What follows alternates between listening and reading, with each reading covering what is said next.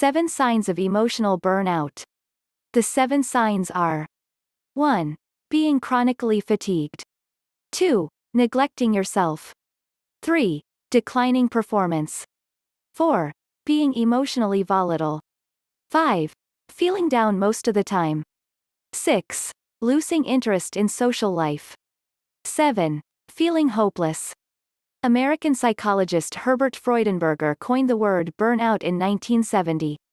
Over the decades, burnout is a popular topic of interest for many scholars in the field of psychology. Based on a study by Leiter and others, emotional burnout is defined as a negative psychological state that may manifest physical, behavioral, and cognitive symptoms that impair our normal functioning and cause us severe distress. No matter what you do, or how you do it, stress is an inevitable part of life. Everyone has to deal with it from time to time. However, when stress gets out of hand and becomes too much for you to cope with, you will put your mental health at risk. Highly sensitive people are more likely to get emotionally burnt out.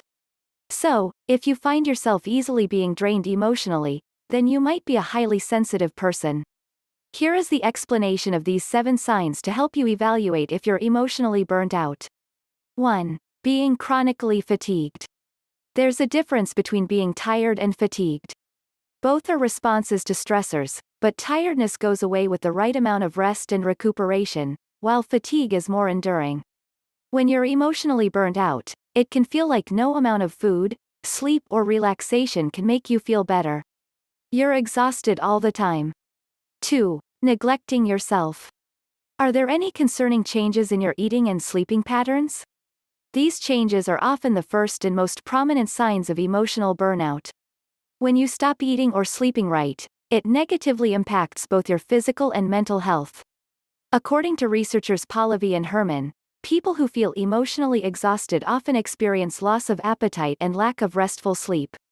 In severe cases, some people even feel so drained that they stop showering, exercising, brushing their teeth and dressing presentable altogether. Note that, highly sensitive people are also more likely to get emotionally burnt out. So, if you find yourself easily being drained emotionally, then you might be a highly sensitive person. 3. Declining performance. Have you noticed the quality of your work going down lately? Are you less productive at what you do? Try comparing your performance from a few months or years ago to how it is today, and see if there's a significant difference. Emotional burnout is a gradual process that takes place over an extended period of time. So, it can be difficult to pinpoint when exactly your performance started to worsen.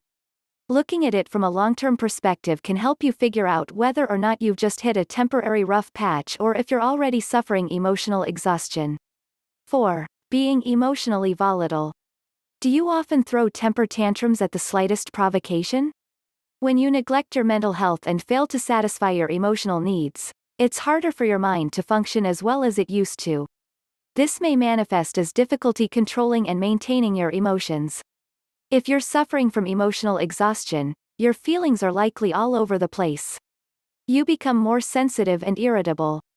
Frustration, pessimism, guilt and anger are common, as well as feelings of emptiness and dread. All of these are telltale signs that your mind is already crying for help. 5. Feeling down most of the time. According to a study by Bianchi and others in 2015, lack of energy and motivation are to be expected in the early stages of burnout. But symptoms of anxiety and depression may develop over time if the problem is left untreated. If you're feeling down more often than not, it's time for you to start taking better care of yourself, mentally and emotionally. 6. Losing interest in social life. Being emotionally burnt out may cause you to have no energy or desire to spend time with your loved ones. Do you tend to push away your friends and family without meaning to? Do you find yourself neglecting your social roles and duties as a sibling, partner or friends? Do you experience more interpersonal conflicts? Emotional burnout is a very ugly and painful experience that often affects not just our mental health, but our social functioning as well. In fact, studies have shown that social withdrawal and isolation is one of the worst consequences of poor mental health, causing a lot of people to suffer alone in silence. 7. Feeling hopeless. Emotional burnout usually gives way to feelings of despair, emptiness, and detachment. You spend all of your time and energy dragging over all the things you need to do, and end up leaving no time for yourself and your well being. You start to feel unfulfilled by the things that used to give your life meaning, and you find it hard to feel any sort of pleasure at all anymore, because you fear that nothing you do will matter in the end. You don't see the point of it all anymore, so you give up. In a culture that values achievement, success, and productivity, it's easy to lose yourself in your work, business, or your school. A lot of us have been brought up to believe that we must always push ourselves to excel and do our very best all the time. However, it's important to know when to draw the line, and find the time to care for ourselves and put our emotional needs first. Emotional burnout is an easy trap to fall into, but difficult to climb out of. Fortunately, though, it doesn't just happen overnight. The best solution to evaluate yourself is self awareness.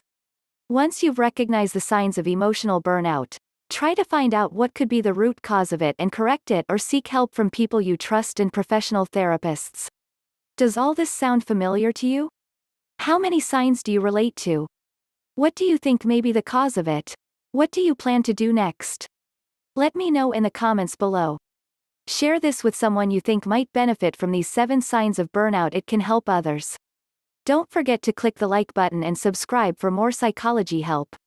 Thank you for watching. Disclaimer this educational information is not intended to be a substitute for professional advice, diagnosis, medical treatment, medication, or therapy.